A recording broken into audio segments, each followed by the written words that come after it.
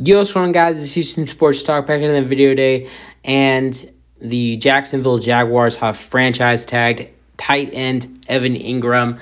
Great move by the Jacksonville Jaguars to lock up their tight end, who was a great weapon for Trevor Lawrence last season. Uh, this is our second franchise tag of franchise tag season. Uh, the first one was the Washington Commanders franchise tagging uh, defensive tackle Daron Payne. And now you have the Jaguars franchise tagging Evan Engram. Now the the deadline to tag franchise tag a player is March 7th and today is March 2nd. So I'm sure we will see a couple of these happening in the next couple days, but I want to note here that if Evan Engram and the Jacksonville Jaguars are not able to, you know, you know, agree on a long term on a long term contract, Evan Engram would make eleven point four million dollars on the upcoming season.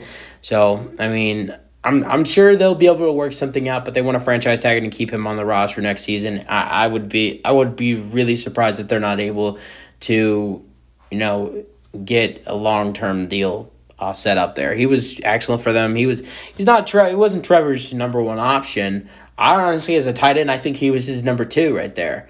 Because yes, he threw the ball a lot to Kirk. He he liked his other weapons like Marvin Jones and Zay Jones, but Evan Engram was just a, he was just there for him. Sixty five reception, there were seventy receptions, I believe, seven hundred sixty five yards, four receiving touchdowns.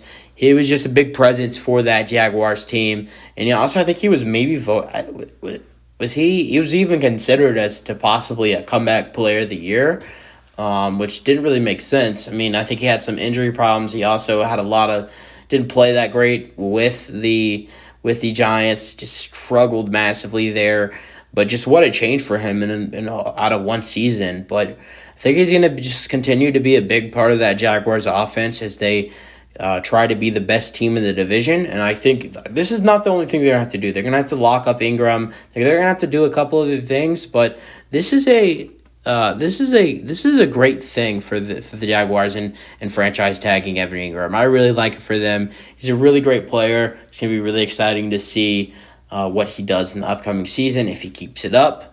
Um, but he's he's definitely a really great option for Trevor Lawrence. But that's it for the video. Hope you guys enjoy them. My thoughts and peace out.